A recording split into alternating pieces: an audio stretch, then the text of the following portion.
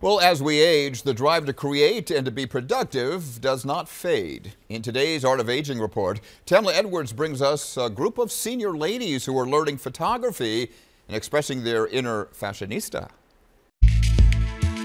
So you want to pop up the flash? Sheena Garcia teaches art and mixed media at Allegheny Senior Center.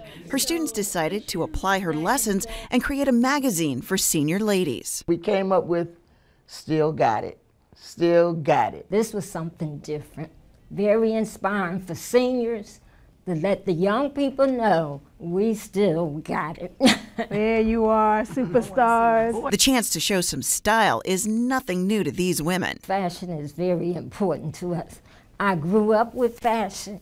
My family taught me how to dress. So we decided that we would show what is comfortable for us. Fashion means that, you know, I can express myself. And the women of Still Got It hope to encourage other seniors to do the same. If you look at a magazine and see us all dialed up, they say, well, I can do that too. We didn't ask anybody to pose. We just had the seniors be themselves, turn around, laugh, throw your head back, and just have a ball. And it really does increase self-esteem. It keeps them talking to other members. They meet new friends. I still got it. I still got it. Absolutely. And I'm going to flaunt it. And also, Tamala Edwards, Channel 6 Action News.